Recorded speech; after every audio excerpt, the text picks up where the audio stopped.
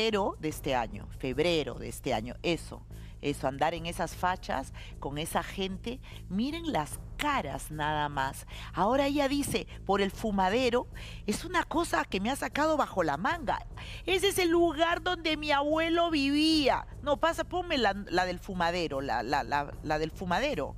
Ponme, esa, dice, ahí estaba eh, con gente humilde, lo que pasa que era, ese era un fumadero un fumadero. Ahí la gente está tomando y va a drogarse. Están, tienen trago en la mano. Están tomando cualquier cochinada de trago. Es un fumadero.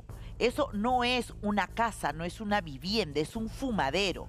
No es la sala de la casa de donde vivía tu abuelo. Creo que cuando dijo eso hasta la mamá volteó a mirarla así, como quien dice, ¿qué estás diciendo? Pero esta señora quiere tanto a su hija que le tapa todo, ¿no? Y bueno, que se enseguece ante ella. No se le puede juzgar. Es una madre finalmente tratando de salvar a su hija eh, de la manera que puede. Pero ese era un fumadero. Nosotros fuimos a comprobar eso donde era, un fumadero. Y eso de decir, no, estaba ahí con un grupo, lo que pasa que era gente humilde, estábamos compartiendo. Ahora llamamos compartir a eso.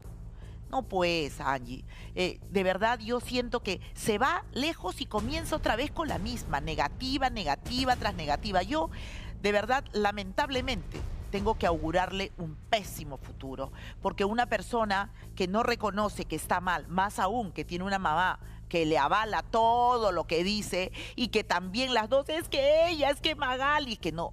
No sé, alguna vez ella hace mucho tiempo habló con mi productor acerca de unas imágenes que no quería que sacáramos, que era donde ella nos hablaba de la enfermedad de su hija y que nosotros al final terminamos sacando. Pero ella, la mamá, explica sobre el internamiento y, y también es para no creer que una madre que ya sabe que su hija ha estado en una situación o en más situaciones de riesgo, la han baleado allí Gibaja ha estado a punto de morir en una casa donde había droga, en una casa donde el, señor este al que ella decía que, que, era como un abuelo, que no era un abuelo para nada, porque al final terminó aceptando que había una cierta relación ahí media rara con él, que era un drogadicto el hombre y que se drogaban ahí adentro. Eso es lo que finalmente saqué y no lo estoy inventando. Leí todo el informe policial de ese juicio.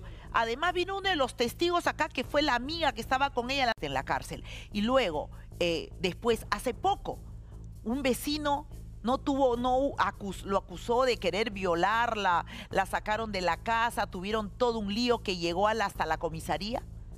La acusaron de haberse robado los perros de esa casa. O sea, ¿cuál es su madera de vivir? Ahora que se bañe, se cambie un día, dos días, cinco días para tratar de impresionar a su mamá y a otros familiares o a la gente, al público, de que ella